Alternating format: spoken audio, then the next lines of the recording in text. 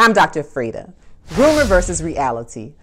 Did a black woman develop the COVID 19 vaccine? I have been hearing so many rumors and buzzings around, wondering is that true? Could it possibly be true? And so I'm really excited about today's video.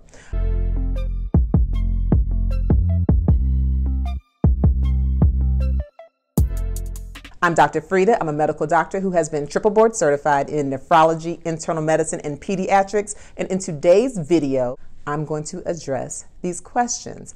The following four topics we'll talk about. Number one, did a black woman actually develop the Moderna COVID 19 vaccine? Number two, did this said black woman actually work on the coronavirus vaccine technology for six years? Number three, hesitancy. Why are so many members of the black community having vaccine hesitancy? And lastly, I'll answer this question Will I get the COVID 19 vaccine?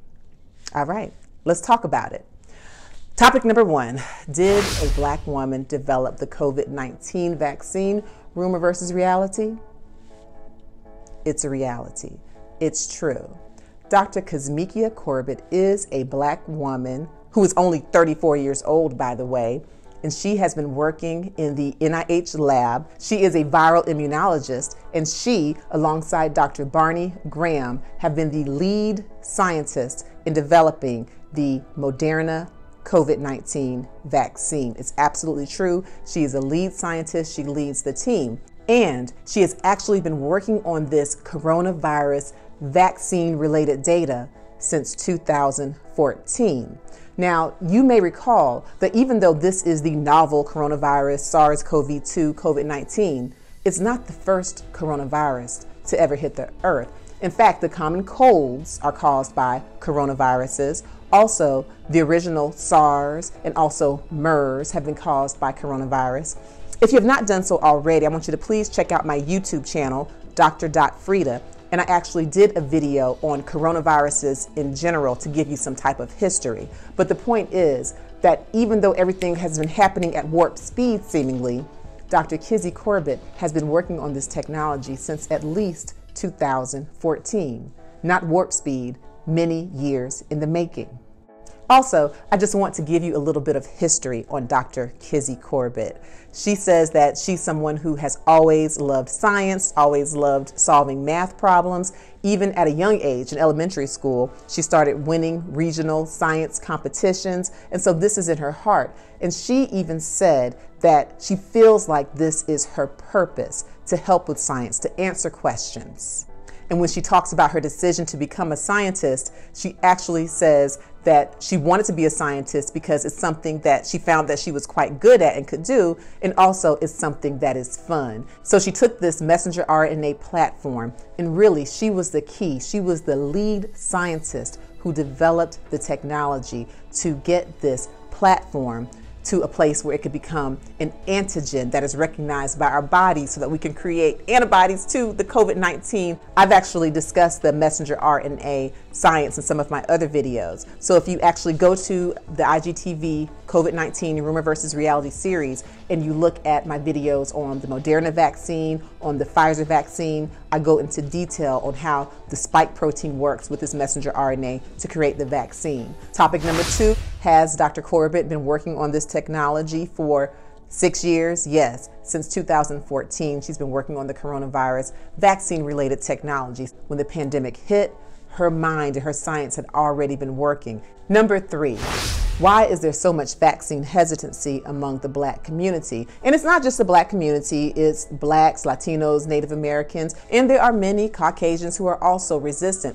So we are making some progress in getting confidence in the COVID 19 vaccine, but understandably, things are new. It's very new, and there is a strong history of the medical community, the scientific community, quite frankly, not deserving the trust of people in minority communities and in black communities specifically. So let's talk about some of these reasons. I know that many people have been talking about the Tuskegee experiment. I talk about the Tuskegee experiment. And if you go to my YouTube channel, Dr. Frita, and look up Tuskegee experiment, I do a whole video where I go into detail about it. There have been many other issues involved with the black community. There's a lot of implicit bias within the medical community. There are reports of black women specifically having hysterectomies that are not medically indicated. And there are so many more things, not just in the past, but in the present. So, what do we do about that? First off, we must validate it. And I don't like it when people say, oh, that's in the past, and if that community wants to you know, dwell on it, then they deserve it and don't let them have the vaccine. Because there are some people who think like that. But it's not just the past. Again, it's the present. There's certain things that are going on in the black community right now and among other minorities that continue to perpetuate the distrust of the medical community. That's just real. And I was actually talking to my cousin, my first cousin. She's very bright. She's actually a registered nurse, highly intelligent. She herself is not planning on getting the vaccine just yet. She just doesn't totally trust it. So it just lets you know it's just not about people who are, you know, uninformed or uneducated in the black community. No, it's educated people. In fact, the more educated you are, the more specific reasons you might be able to cite to have distrust. But this is where I am with the vaccine. As a physician, as a scientist, I look at the data, I follow the research, I look at the numbers. So, first off, let's just look at COVID 19. Let's look at this pandemic and how it's affecting the black community. Blacks are four times as likely to be hospitalized. And if you know black people, if you have black people in your family, if you have black friends, you more likely than not know of black people who are sick enough to go to the hospital but don't go to the hospital. Even with that, the blacks who are going to the hospital four times as likely to be hospitalized than non blacks. And then let's look at this astronomical death rate from COVID 19. Blacks are almost three times as likely to die from COVID 19. So these are the facts. You want to be scared of something? COVID 19 is most definitely scary. Now let's look at the vaccines. So far, with the Pfizer vaccine and the Moderna vaccine, both have received emergency use authorization within the span of a week. And if you look at the efficacy, we're dealing with more than 94% efficacy, meaning that if you get the COVID 19 vaccination, then there is a greater than 94% chance that you will not get the COVID 19 disease. And even if you do get the disease, there is a 100% chance that you won't get severely ill, which means you are very likely not to die. This is science. This is the data. And we're not talking about trials where they just looked at a few people, a couple of hundred, a few thousand. We're talking about thousands and thousands of people. We're talking about over 30,000 in one of these trials, over 40,000 in the other trials, and that's not even including the many other trials which are still going on.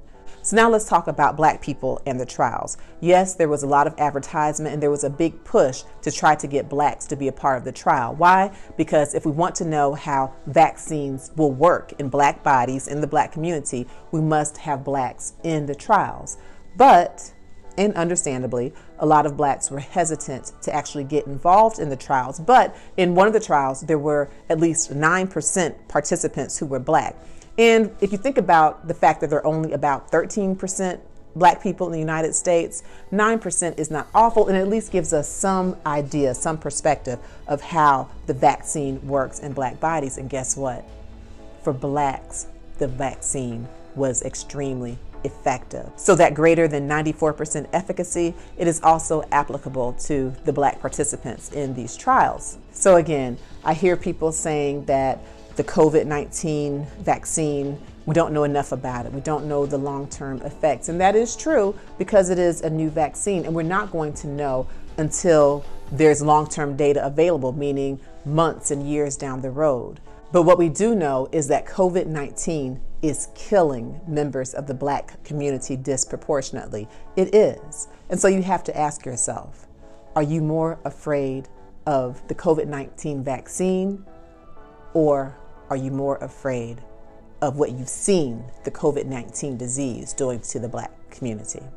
The other important issue is that where we are now, in many ways, actually is different from where we were years and certainly decades ago. Now we have black scientists in the room. We have the black scientist, Dr. Kizzy Corbett, who actually developed the COVID 19 vaccine for Moderna. And then we have black scientists who are on the review boards, on NIH panels. We have black ethicists. We have black people who are in the rooms where the major decisions are being made. Even our Surgeon General is a black man. And so while there are still many reasons for distrust, and most certainly we have to, to validate those, we have to recognize those, we also have to look at everything as a whole.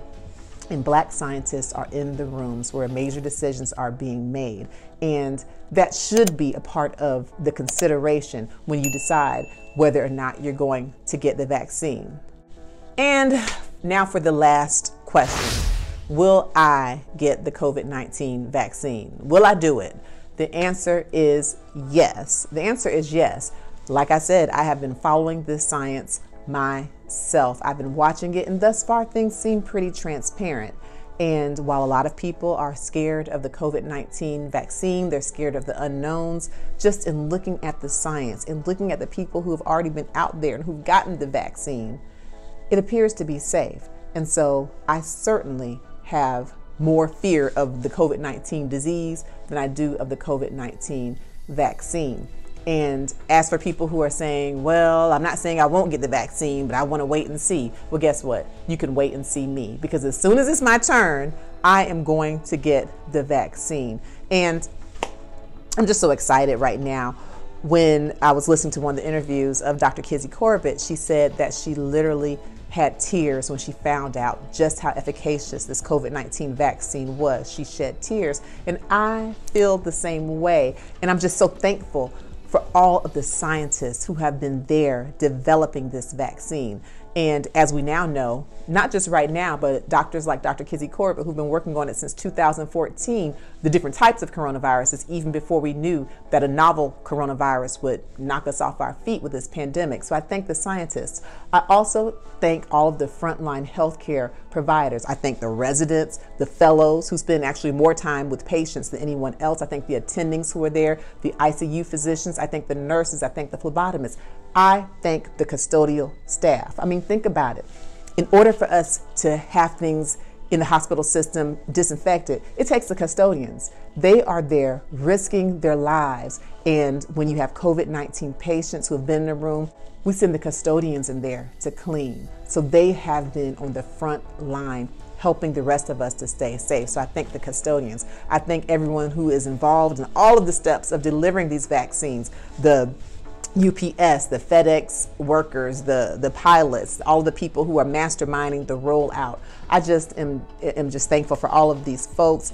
And I'm finally feeling that there is a light at the end of the tunnel. This pandemic is something that we have not seen anything like it. When we used to quote all of the big death tolls and the major disasters that happen in the United States and around the world, they're starting to pale in comparison, death rate wise, to the pandemic. And so finally, finally, this vaccination looks like the key to getting us back to a normal life. And so I am ecstatic. And so, yes, I will get the vaccine. And I want to thank everyone, those of you who are sitting at home who have been listening to the medical advice of people who tell you to wear masks, to socially distance, and to exercise good hand hygiene. I know that this pandemic fatigue is real, but we are almost there. Did a black woman develop the COVID 19 vaccine? Yes, indeed. Dr. Kizzy Corbett, lead scientist of the NIH in the development of the Moderna COVID 19 vaccine. If you liked this video, if you found it to be helpful, if you found it to be informative, please like it and share it with the people you care about. Also, if you have not done so already, be sure to subscribe to my YouTube channel, Dr. Frita. That's Dr. F-R-I-T, as in take care of yourself, A. I talk about the basic coronaviruses. I talk about, uh, I have a current video on coronavirus symptoms. I talk about herd immunity. I have two videos on the truth about vaccines. I have all kinds of videos from A to Z to really help to inform you about your health. So I thank you for watching. I appreciate you for watching. Meanwhile, I want you to do your absolute best to live your healthiest, happiest life. I'm Dr. Frita. Because you probably know if you have